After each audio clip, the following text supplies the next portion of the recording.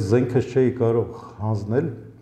որովհետև իմ ուսադիրների պատիվը թույլ չէր տալիս։ Մենք օպերացիա էին կազմակերպել, որ պետք է մեկուսացնեինք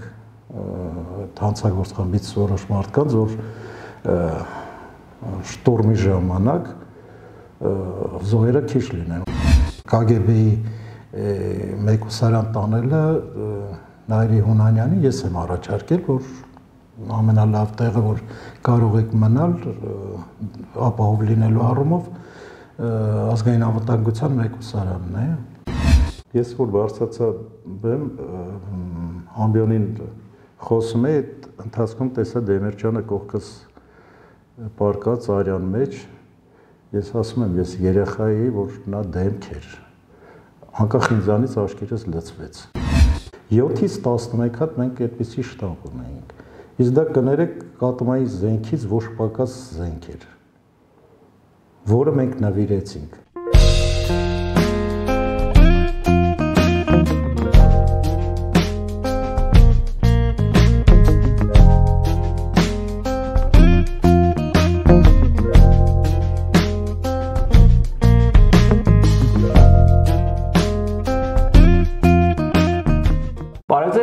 Ակտիվի տաղավարում հյուրընկալել ենք պետական քաղաքական գործիչ ազգային ժողովի 3 գումարման падգամավոր Գագիկ Կոստանտյանին, շնորհակալություն պարոն Կոստանտյան հրավերն ընդունելու համար։ Շնորհակալ հրավեր։ Պարոն Կոստանտյան, ընդամենը օրեր առաջ լրացավ ձեր 70-ամյակը, նախ շնորհավորում ենք եւ մաղթում ձեզ ամենայն բարին։ Երևի թե սա ամենակարևոր հարցն է, որից պետք է սկսենք, հա։ Ձեր կյանքի լավագույն տարիները դուք դրել եք երկրի պետականաշինության, երկրի անվտանգության գործին ու հիմա, այսպես ասած, հոբելյանական ամյակը լավագույն առիթն է ամփոփելու այդ տարիները։ Ինչ նվաճումներ, ձեռքբերումներ ունեցաք եւ որոնք էին այն բաց թողումները, որ այսօր հետահայացք նետելով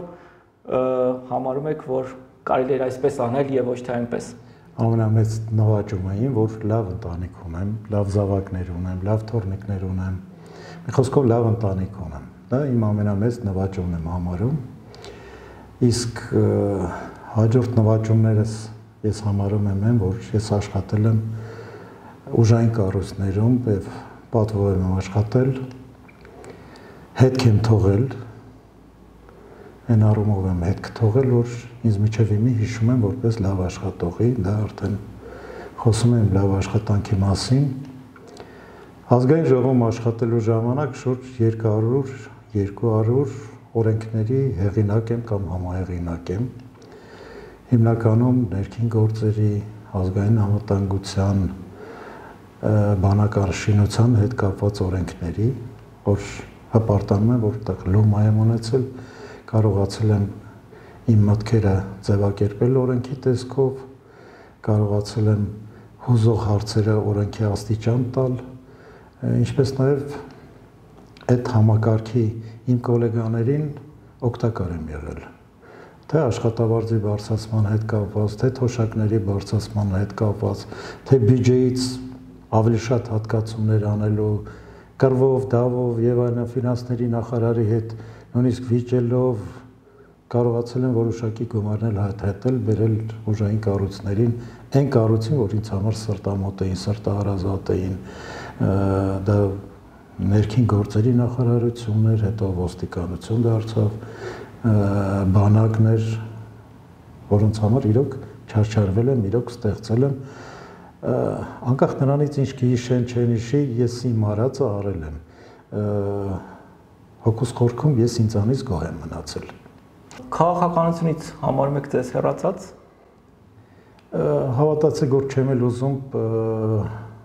շփվել, հանդիպել, ասեմ ինչու։ Ուժային կառույցում աշխատող մարդկանց համար բավականին խորտ երևույթ էր քաղաքականության մեջ լինելը, որովհետև մենք Տշնամու տշնամու էինք համարում բարեկամի բարեկամ, իսկ այնտեղ չէիր պատկերացնում, թե ինչ է կատարում։ Իրար նույնիսկ ամենավատ հայոյանքները կարող էին տալ, հետո կես ժամ հետո տեսնել բուֆետում նստած իրար հետ ժպտալով, ասելով, խոսելով, ծիծաղալով հաց են ուտում։ Եվ ինձ զարմանում էի, ախր մի փոքր առաջ իրար ինչ անպատիվ խոսք ասես ասում էին։ Բայց հետո ոնց եղավ, որ այսպես, այսինքն կարելի է ենթադրել, որ դա խաղ էր։ Եվ պատական չէ, որ ասում են հին մասնագետություններից մեկը, մենակ այդպեսի մասնագետը կարող է նման ձևով վարվել։ Ես չեմ ընդունում դա եւ իրոք մեզ համար իմ կարծիքն է դա, միգուցե սուբյեկտիվ կարծիք է, որ ուժային կառույցի աշխատողը իրանք չունի քաղաքականությամբ զբաղվելու։ Ես դա ընդունում եմ որպես դոգմա ամենասկզբունքային անտիմադիրներից եք, հա, Լևոն Տեր-Պետրոսյանի իշխանության, եթե չեմ սխալվում։ Ես չի ասի, ես միշտ պետականամետ եմ եղել, այսինքն պետության մասին եմ մտածել, միշտ ճշտի համար եմ կռիվ տվել, պայքարել, եւ եթե համարել եմ, որ դա սխալ է, ուրեմն ես դրա համար դրա դեմ պայքարել եմ։ Եթե համարել եմ, որ դա ճիշտ է, անկախ նրանից ես երբեք կուսակցական չեմ եղել։ Բացի որ կոմունիստ տվական կուսակցության անդամ եմ եղել, դա դի պաշտոն էր դա, դարված պետք է լինեիր։ Նրանից հետո բացարձակապես կուսակցություն չեմ ընդունել, հարել եմ որևիցե ընդունել եմ որոշ որոշ ծրագրեր, ընկերություն եմ արել որոշ մարդկանց հետ, բայց կուսակցության անդամ որպես այդպեսին չեմ եղել երբեք։ Տիրախավորված եղել եք, այսպես ասած, ՀՀՇ-ական իշխանության կողմից, թե չի ասի։ Չի ասի։ Ճիշտ է, վատություն շատ են արել, բայց համարել եմ, որ երևի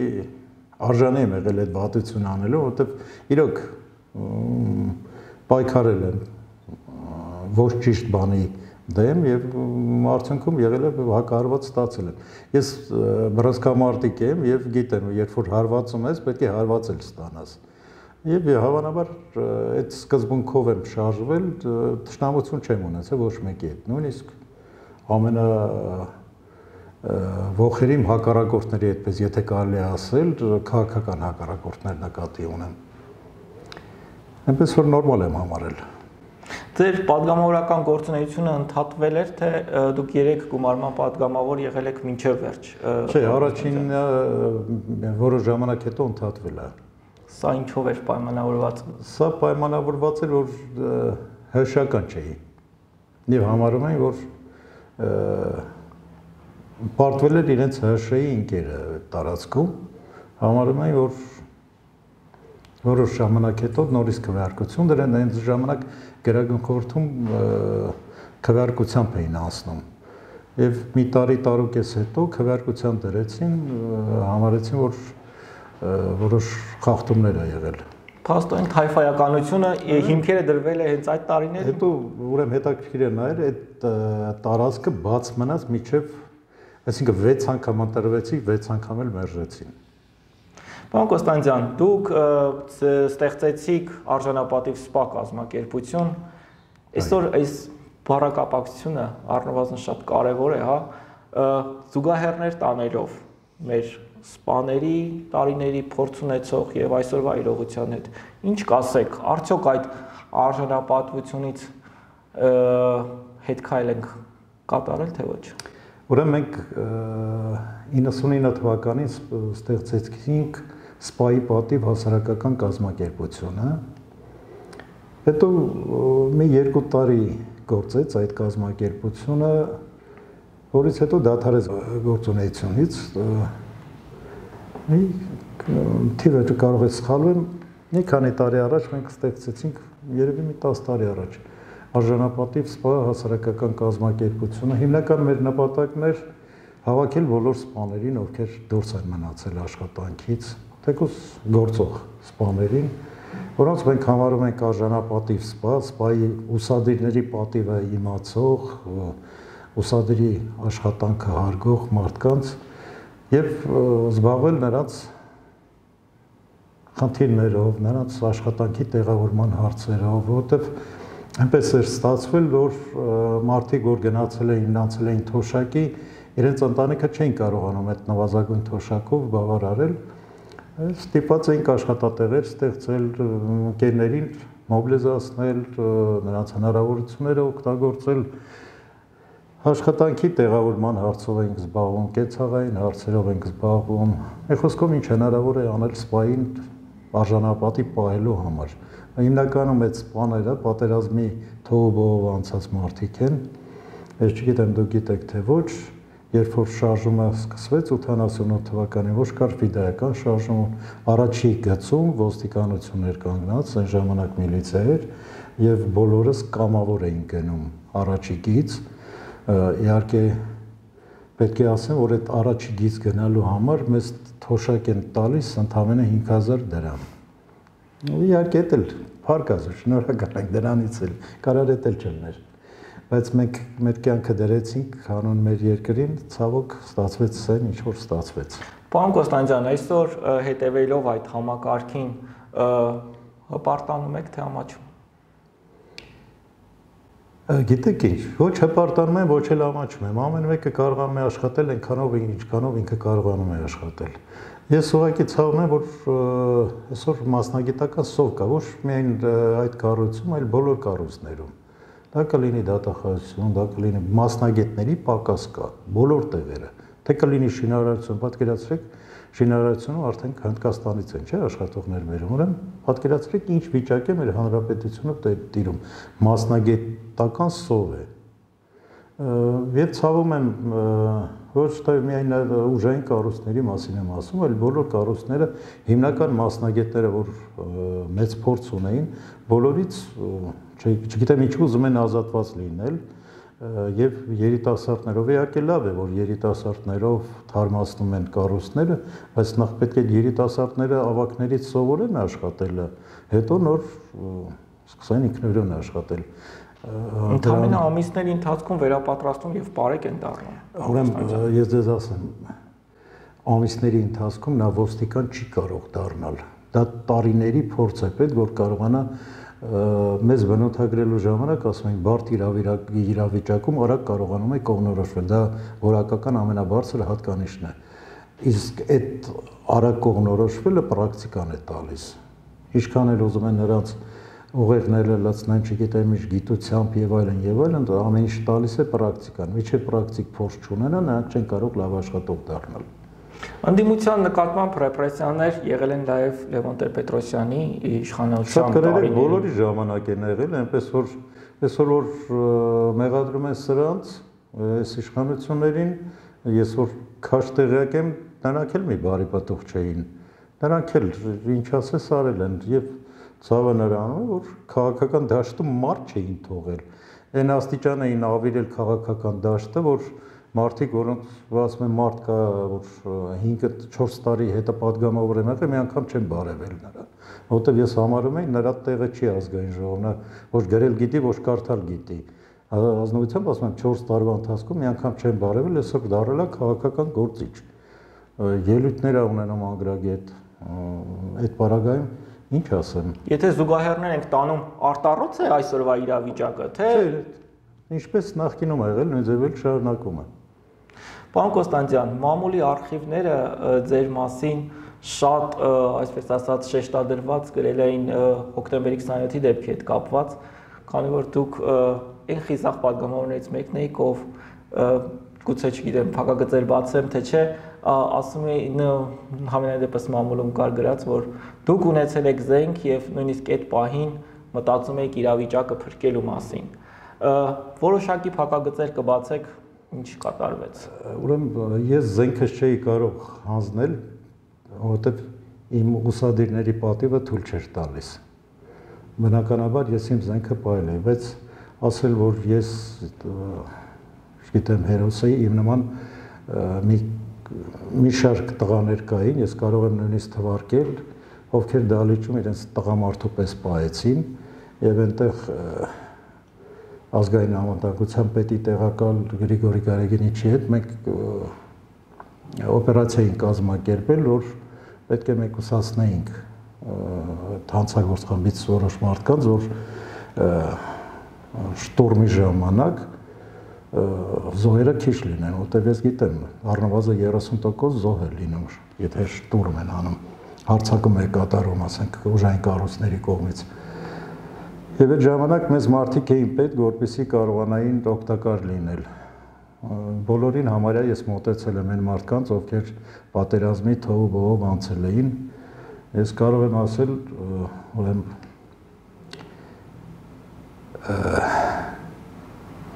Գևորքյան Ռուբեն, Մադաթյան Էդիկ, Ավետիսյան Սամվել, Հակոբյան Հակոբ, ճոյտի մասին է խոսքը։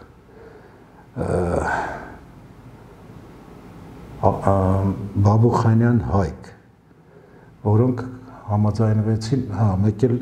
Շագելդյան Վրեժ, Ձորախբերից ընտրված պատգամավորը։ Այս մարդիկ համ, համաձայնվեցին, որ պետք է որոշակի գործողություններ կատարենք։ Եվ իրեն շատ տղամարդ ձևով պահեցին։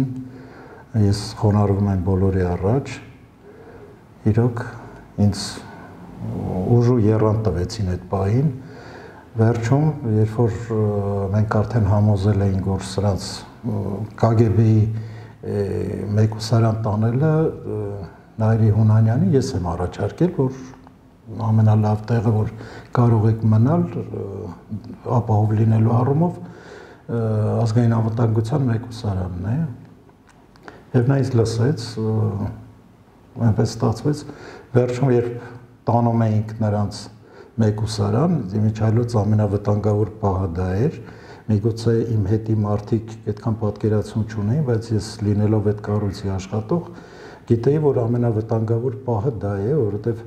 ճանապարհին նախ զոհվածների հարազատները կարող էին վրեժ լուծել։ Եվ երկրորդ պահը,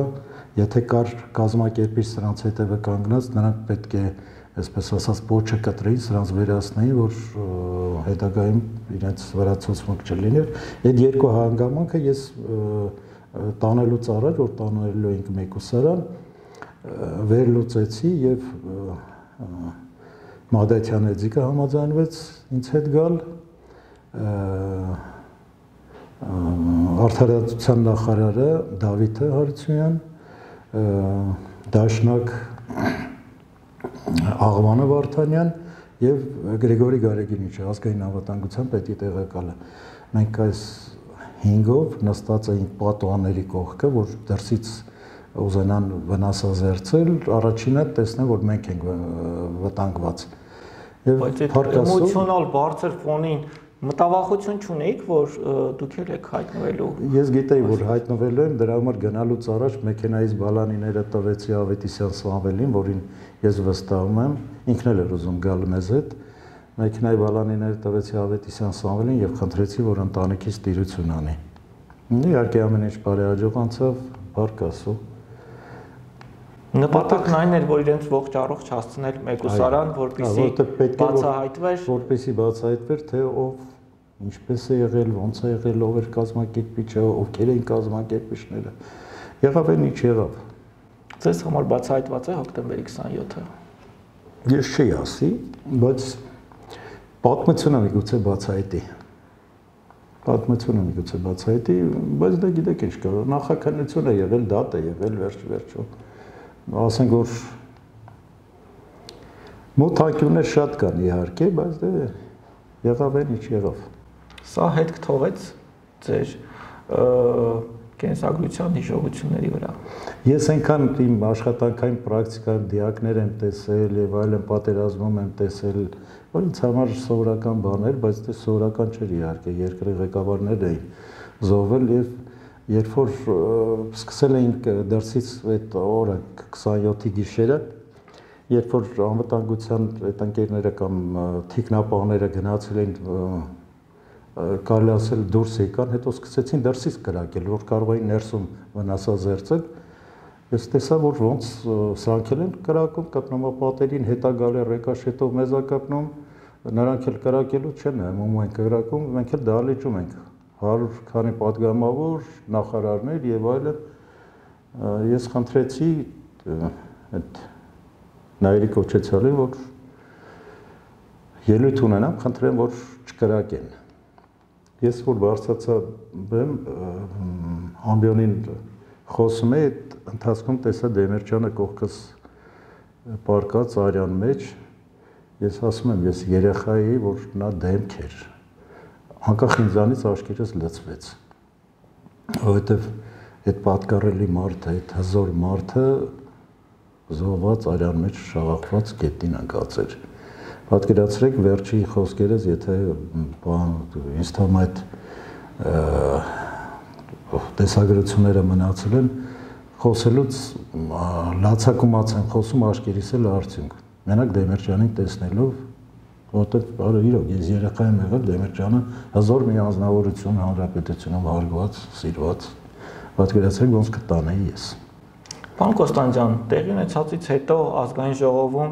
ուսումնասիրող, հա, անգամանքները հանձնաժողով է ձևավորվել, եթե չեմ սխալվում, եւ ես էլ այդ հանձնաժողովի նախագահի տեղակալն էի։ Ինչ հաջողվեց բարձելի վերջո։ Իմիջիալով ես ձեզ ասեմ, ինձ համար շատ զարմանալի էր, որ աշխատանքները խանգարում էին առաջ գնալու ոչ թե ավելի շուտ խանգարում էին այն մարդիկ, որ Վազգեն Սարգսյանի կողքին են եղել։ Նրա շնորհիվ պաշտոն էին ստացել, նրա շնորհիվ հարստացել էին եւ բանը գիտեք ինչ ուներ, խանգարում էին այդ աշխատանքներին։ Ինձ համար զարմանալի էր։ Ես մտածում էի, այն ինչ որ ասում էին մյուս կողմին, նրանք պետք է խանգարեին, բայց հաստատանում էր փաստ, որ սրանք են գալիս խանգարում։ Մենք լավ ծրագրեր ունեի, ուզում էի ամեն ինչ անել, որ ավելի բացահայտ լիներ, ավելի հստակ լիներ, ամեն ինչ գար ջրի երես, բայց ամենտեղ էս հանդիպում էի խոչընդոտների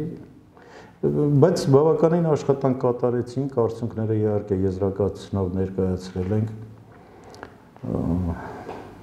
Հանձնաժողովն էլ աշխատեց ինչքան կարող էր։ Հետո հանձնաժողովի ձեռք այդքան բան չկա, որ կարողանա։ Նախաքննական մարմինը աշխատում էր, բնականաբար դու կարող էիր քաղաքական գնահատական տալ դրան։ Իսկ դա տվել ենք մենք պատվերը ներսից թե դրսից էր տեղի ունեցածի չէ այդպես չի կարելի ասել պատվեր էր թե պատվեր չէր նախաքննություն կար ինքն էլ պետք է որոշեր պատվեր է թե միգուցե ինչ որ գիբան գիտեմ որ չեն ուզում ասել դա նախաքննական մարմիններին պետք է հարցնել ինչքանով են իրեն կարողացել բացահայտել եւ ինչ են բացահայտել այն ինչ որ դատարան գնաց այդ գործը դա էր թե այլ հանգամանքներ կա որ իհաց չեն եկել ես կդժվարանամ ասել բայց հանձնաժողովը իրեն վրա դրված պարտականությունները հստակ կատարել է իհարկե չեմ ասի որ բոլոր հանձնաժողովի անդամներն էին լավ աշխատում բայց դե աշխատողները աշխատում էին ամենայն դեպս ես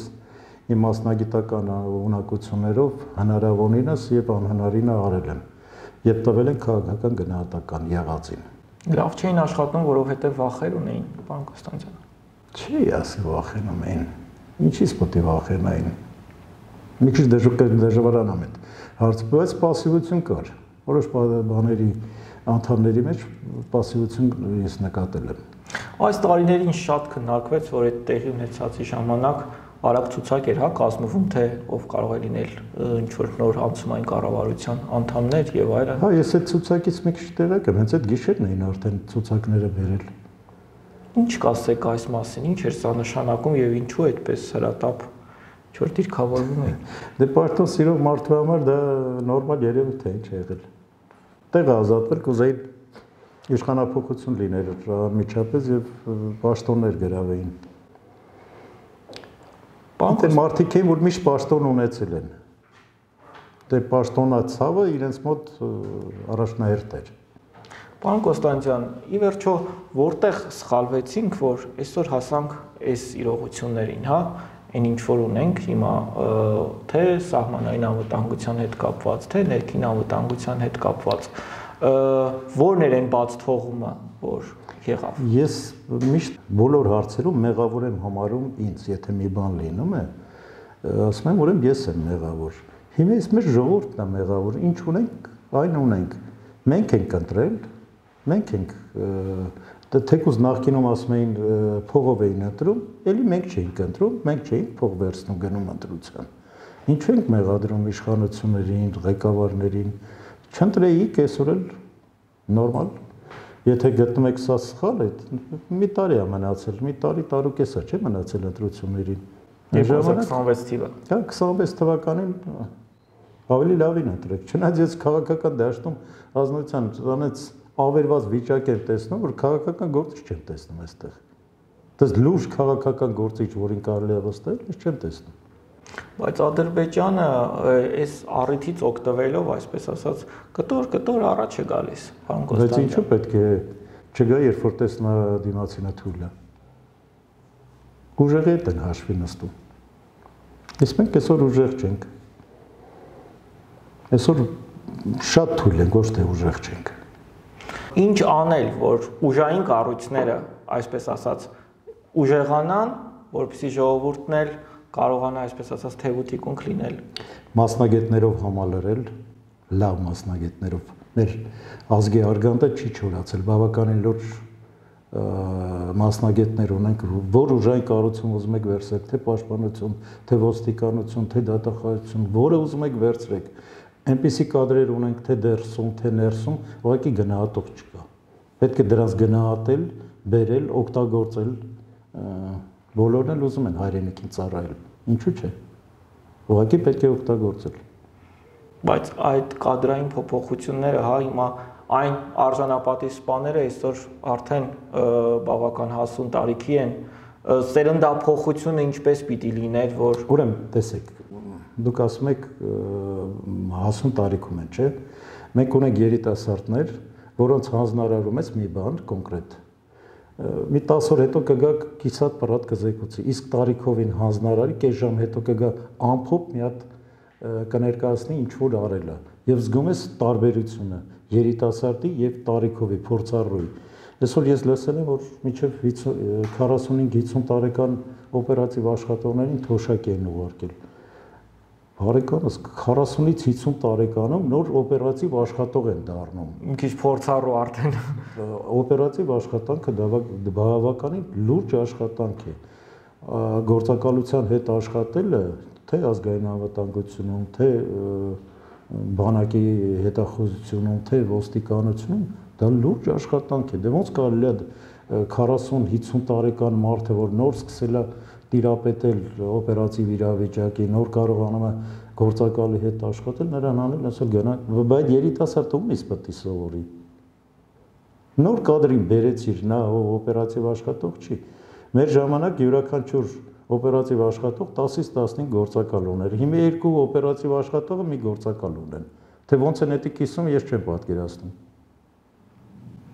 Հիմա երեք ոստիկանություն նաև հայտնել էր, որ այդ տնային կալանքների համար այսպես ասած թևնոցները, հա, սպառվել է։ Այս քանակի կալանքներ ճիշտ եք համարում։ Ես ճիշտ չեմ համարում, առաջինը ինքս բավական ժամանակ տնտեսական հանցագործությունների հետ եմ կապված եղել, իհարկե բոլոր ծառայություններում եմ աշխատել, եւ քրական հետախազություն, եւ այն ժամանակ ԲԽՍ ծառայություն կար, եւ ծառայությունում ես կողմնակից չեմ որ տնտեսական հանցագործությունների համար մարդուն պետք է կալանավորել որովհետև գիտեք ինչ կա ավելի նպատակարար է այն տարած գումարը հետ բերի եւ որոշակի տուժեր տուգանքներ վճարի ազատության մեջ մնա որովհետև եթե նա կարողացել է աշխատել այնպիսի օղակում, որ տնտեսական հանցագործություն է արել, ուրեմն բավականին ունակ մարդ է, այսինքն ուղեղն աշխատում է, որ կարած նրան օգտագործես, կարող ես օգտագործել մեկ այլ ոլորտում, որ եկամուտ կբերի պետության համար։ Ինչու նրան տանել բանտ նետել եւ անգործունեության մատնել։ Թող աշխատի, իր պարտքն էլ տալը մի բան էլ ավել պետությանը շահույթ կբերի, չէ՞։ Այդ բաղրագային տնտեսական հանցագործները եթե դուրս մնան, այսինքն հնարավորություն ունենան պետության պարտքը տալու, պատկերացրեք, ինչքան տեղ կազատվի, չէ՞։ Հիմնական այսօր այնքան քրեականը չի, ինչքան տնտեսական հանցագործներն են։ Ա Այսինքն կիսվեց այդտեղ։ Մինիմալ կկիսվի, չէ՞, հանցագործների քանակը վերտրում եւ ամբողջ հարցը կայանում են նրանում նաեւ որ ինչ իմաստ ունի այդքան մարդկանց կալանավորել։ Հանցագործություններ կա, որ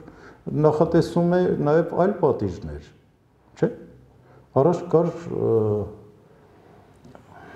այսպես ուղիչ ուղիչ աշխատանք չէ ուղիչ աշխատանքային ուղիչ աշխատանքի մեկ այլ տեսակ ասենք շինարարություններում էին աշխատում հատուկ կոմենդատուրաներ կային որ ես մի 2-3 տարի այդ կառույցում աշխատել եմ 5-րդ բաժին էր կոչում այն ժամանակ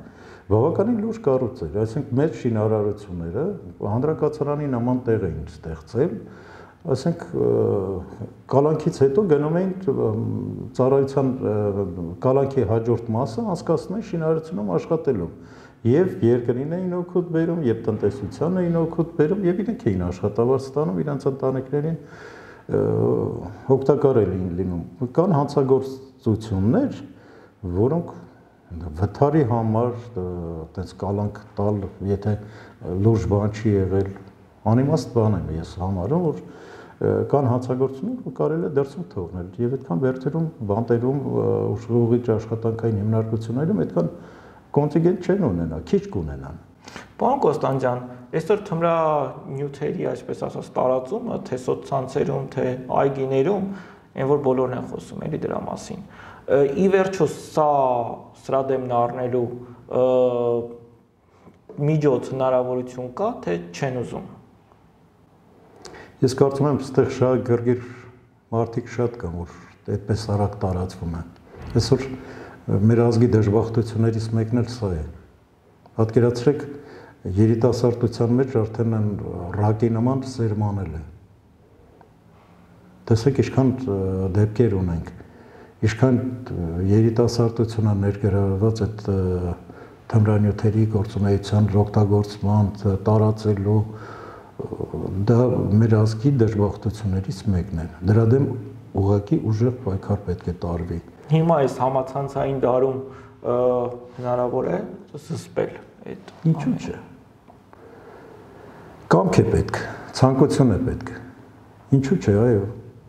Ես նորից եմ ասում, լավ մասնագետներով համալրել է պետք եւ այդ ուղղությամբ լուրջ աշխատել է պետք, որովհետեւ յուրաքանչյուրիս երեխան, յուրաքանչյուրիս թորը կարող է հայտնվել այդ կարգավիճակում եւ դժբախտություն այն ընտանիքին, ում ընտանիքում նման անznավորություն կա։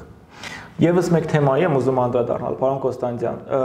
եթե սխալվեմ, խնդրում եմ ինձ ուղեք, ես գիտեմ, որ սանիտեկից բիոլաբորատորիաներ, հա, այդ փոխադրման շտամերի հետ կապված դուք քաջատեղյակ եք եւ այս գործընթացին եմ, հա, ուզում անդրադառնալ։ Ճիշտ էր, սխալ էր եւ այսօր հա բիոլաբորատորիաների հետ կապված շատ մտավախություններ կան, քննադատություններ կան։ Ինչ կասեք այս ամբողջ պատմության մասին։ Ինչ տեղի ունեցավ եւ այսօր ինչ ցավում եմ, սկզբից ինձ նշանակել էին այդ հանձնաժողովի նախագահ։ Ես ԱԻՆ-ի տեղակալն էի եւ ինձ նշանակեցին սկզբից հանձնաժողովի նախագահ, որը ինչ պետք է աներ որը պետք էր Ամերիկայի հետ, Ամերիկայի ընկերությունների հետ քննարկեինք համատեղ ուսումնասիրության։ Այսինքն ինչ է նշանակում ուսումնասիրություն։ Այդ շտամպները պետք է տայինք իրենց։ Եթե թողնեինք նրանք մտնեին, ուրեմն մեկ շտամպի ստեղծելու համար առնվազն 7 միլիարդ դոլար պետք է ներդրում արվեր, որ նոր շտամպ ստա։ Իսկ մեզ մոտ Ես թիվը կարող է սխալվեմ, որովհետև բավականին ժամանակ է անցել։ 7-ից 11 հատ մենք այդպիսի շտամբ ունեինք։ Իսկ դա կներեք կատմայի զենքից ոչ պակաս զենք էր, որը մենք նվիրեցինք։ Իհարկե, հետո անհասկանալի պատճառներով մի 6 ամիս երևի չգիտեմ ում ցանկություններ դա, որովհետև ես պրինցիպիալ ասում եմ չէ։ Պրինցիպիալ ես ասում եմ չէ, չեք տալու սա Կամ եթե տալու են, եթե արդեն համաձայնություն կա տալու, վերեք թանկ վաճառենք։ Գոնե երկրին ստեղծած իհարկե ես հիշում եմ այդ կանայք, որոնք զբաղվում էին այդ լաբորատորիաների վարիշները, ոնց որ իրենց զավակ լիներ այդ շտամպները ոնց որ իրենց երեխան երևի իրենց երեխաներին այդքան չէին սիրում ինչքան ոնց էին դոշ տված պաշտպանում ոնց էին ուզում որ չտան որ իրենք զբաղվեն դրանով եւ ցավոք այնպես եղավ որ ինձ դարձրին սովորական անդամ եւ մեկ ուրիշը դարձավ հանձնաժողովի նախագահ իհարկե այն ժամանակ էլ ես փորձում էի որ ամեն ինչ անել մտածեցի լավ չնեղացա իրոք որ նախագահությունից հանեցին տվեցին անդամ մտածում էի ինչ տարբերություն թե ես որտեղ եմ պայքարեմ որ դա մնա Հայաստանում Հետո առողջական խնդիրներ ունեցավ մի 14 թվականին վիրահատություն եւ այլն էլ ճակատագրից տեղակ չեմ բայց արդեն նախանշանները երևում էր որ նվիրել են հետո հետաքրքիր է նայր ես ինչից եզրակացրի որ սա լուրջ բան էր որովհետեւ շաբաթը մեկ մի հատ դելեգացիա էր գալիս մի 10 հոգով, 20 հոգով ու լուրջ կոնտինգենտներ, էլի, լուրջ մարդիկ։ Է այդ սաթից բանի համար, հեշ բանի համար այդքան չէին գա գնան։ Եվ երբ այդ լաբորատորիաների աշխատողների հետ ես խոսեցի, մարդիկ բացատրեցին, որ դա ատոմային զենքից ոչ պակաս զենք է։ Էլ սիվիլախտ, էլ ժանտախտ, ինչ ասես ունեինք Ինչ ասես ունեինք սովետի ժամանակ մենք ստեղծել էինք դա մեր գիտնականները փառքը պատիվ իրենց որ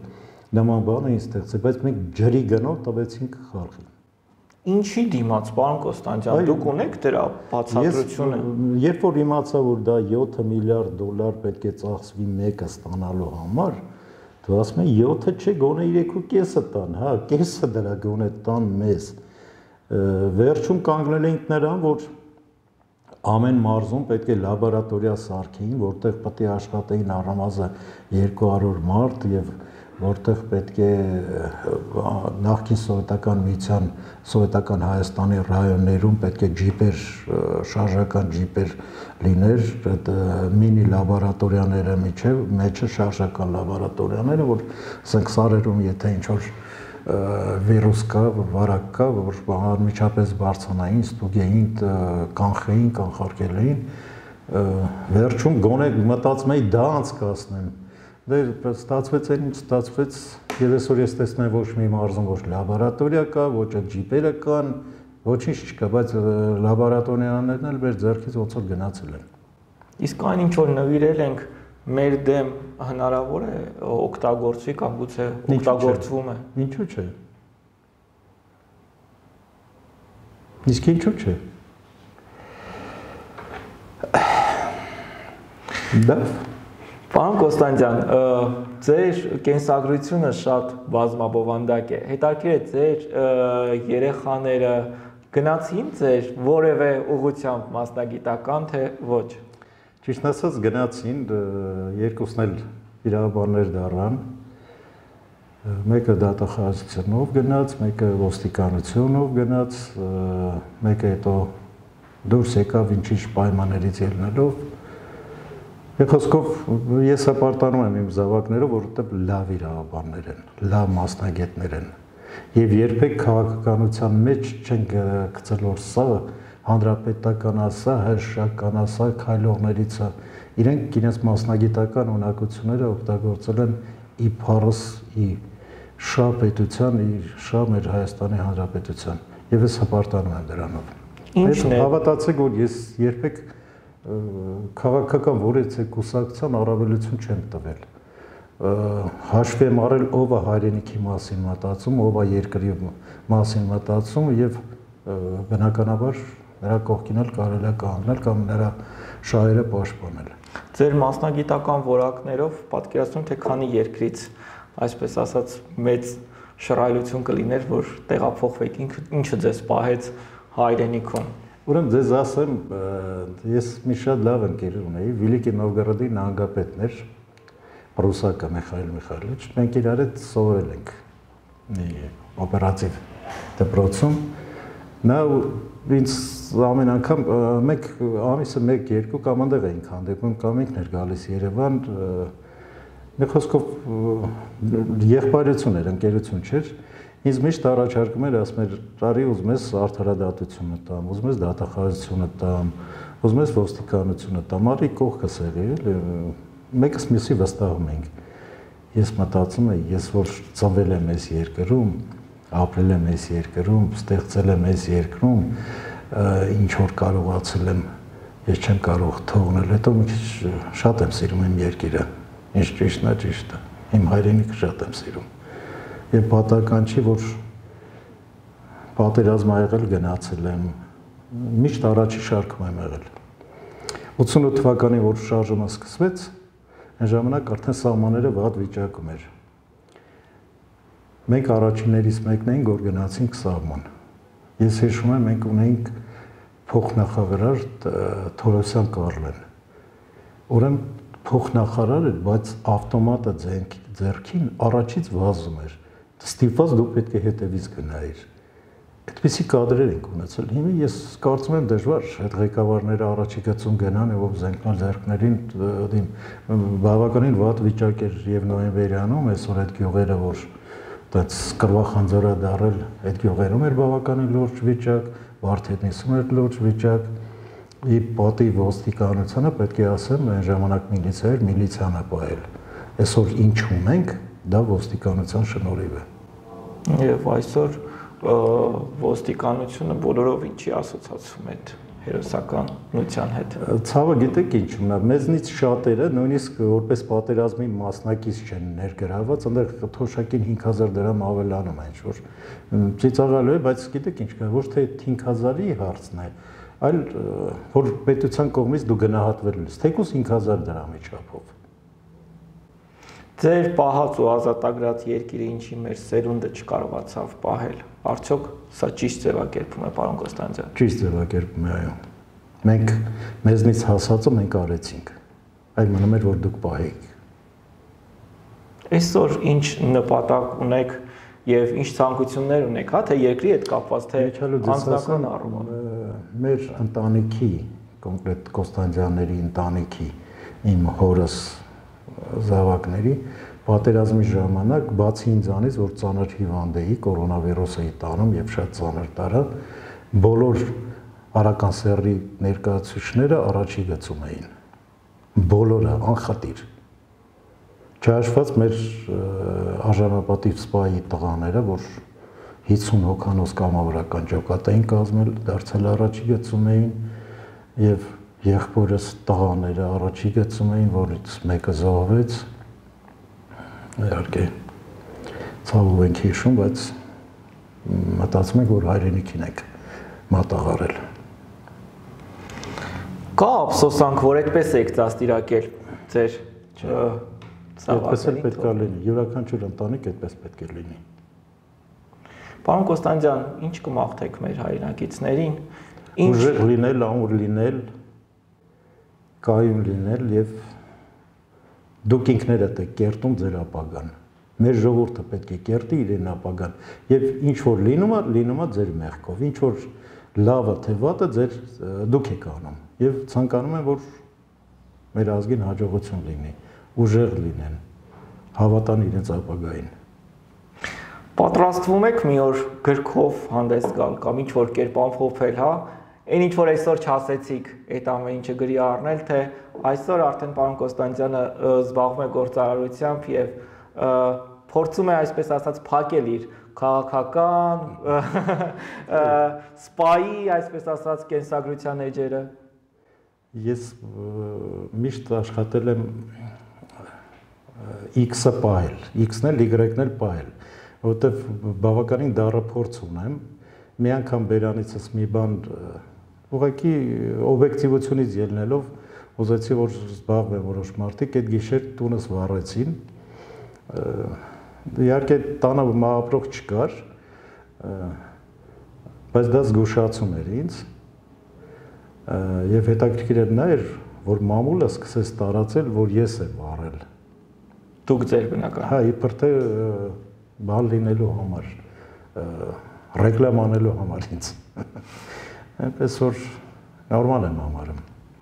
Որ Կոստանդյանի հետ եք հաշտ գործարար, քաղաքական գործիչ, թե սպա։ Սպա։ Սպայի պատևը ես բարձր եմ ողել։ Բարձր եմ ողել առաջի գծում, բարձր եմ ողել հոկտեմբերի 27-ի դահլիճում, բարձր եմ ողել իմ աշխատանքային գործունեության ընթացքում եւ ցանկանում եմ բոլոր սպաները լինեն իրոք սպա, ոչ թե կամակատար ինչ որ քաղաքական գործիչների, ինչ որ մարդկանց, ինչ որ ղեկավարների, հավատացնում եմ ձեզ մեր օրերի ծառայողները, որ մենք էինք ծառայում այդ ժամանակ, մենք առաջի հերթին պետականորեն ենք մտածում, հետո նոր մեր անձնականի մասին։ Ես ցանկանում եմ, որ մեր ոստիկանները, մեր ուժային կառույցների աշխատողները ունենան պետական մտածելակերպ եւ մտածեն երկրի մասին, երկրի ապագայի մասին իսկ մնացածը վերևն Աստված։ Շնորհակալ եմ հետաքրքրիցի համար։